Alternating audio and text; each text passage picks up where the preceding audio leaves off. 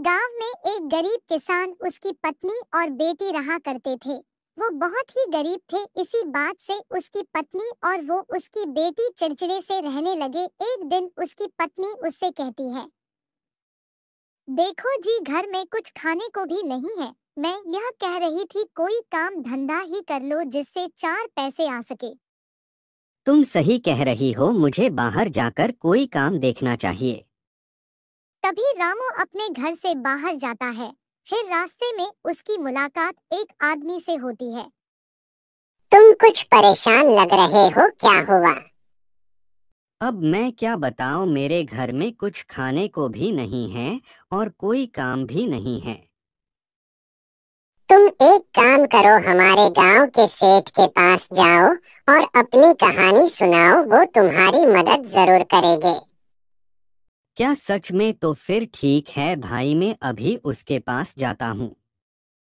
उस आदमी की बात सुनकर रामू वहाँ से उस सेठ के घर को चल जाता है। सेठ और उसका बेटा अपने घर में होते हैं तभी किसान वहाँ पहुँचता है।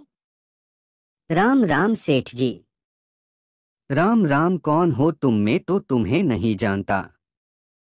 सेठ जी मुझे बबलू ने यहाँ भेजा है। मैं बहुत गरीब किसान हूँ मेरे घर में कुछ खाने को भी नहीं है। आप मेरी मदद कीजिए।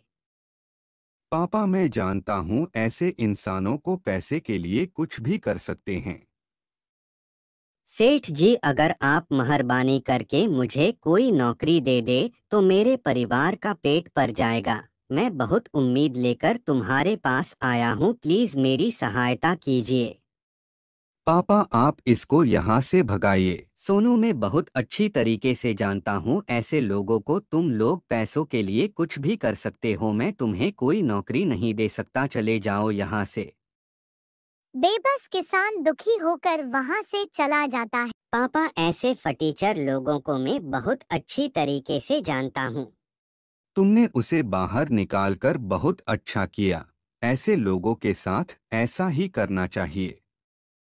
मम्मी पापा ने इतनी देर क्यों लगा दी? बेटा तेरे पापा काम ढूँढने गए हैं काम लेकर ही वापस आ जाएँगे। तुम चिंता मत करो वो आते ही हुआ हुआ जी बड़ी देर लगा ली आपने कोई काम मिला या नहीं भी?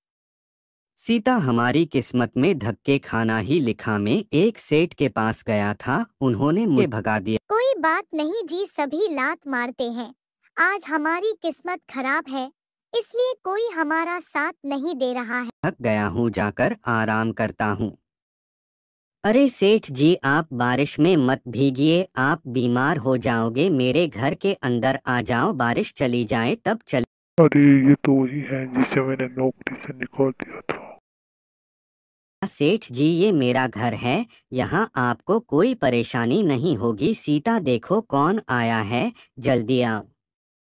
तभी उस किसान की बेटी और उसकी पत्नी वहाँ आती है और उसकी बेटी बोलती क्या हुआ पापा जी? आपके साथ यह कौन है? एक बेटा ये वही सेठ जी हैं जिनके घर पर मैं नौकरी मांगने गया था बेचारे बाहर बारिश में भीग रहे थे। नमस्ते अंकल जी। नमस्ते नमस्ते। अरे सेठ जी चाय पीती जाइए। भाभी जी चाय रहने दीजिए बारिश रुक गई है मुझे बहुत ज़रूरी काम है मैं चलता हूँ और तुम कल से काम पर आ जाना मैंने तुम्हें अपने काम पर रख लिया है तुम बहुत अच्छे इंसान। अरे सेठ जी चाय पीती जाइए। हूँ नहीं बहन चाय रहने दो मुझे बहुत ज़रूरी काम है मुझे पहुँचना होगा तुम कल से दुकान पर आ जाना ठीक है। ठीक है जैसी आपकी मर्ज़ी। बताइए सेठ जी ने आपको नौकरी दे दी। तुम सही कह रही है। सेठ जी उतने बुरी नहीं जितनी हम सोच रहे थे। उन्होंने नौकरी देकर बहुत अच्छा काम किया। इस कहानी से हमें यह सीख मिलती है कर भला हो भला।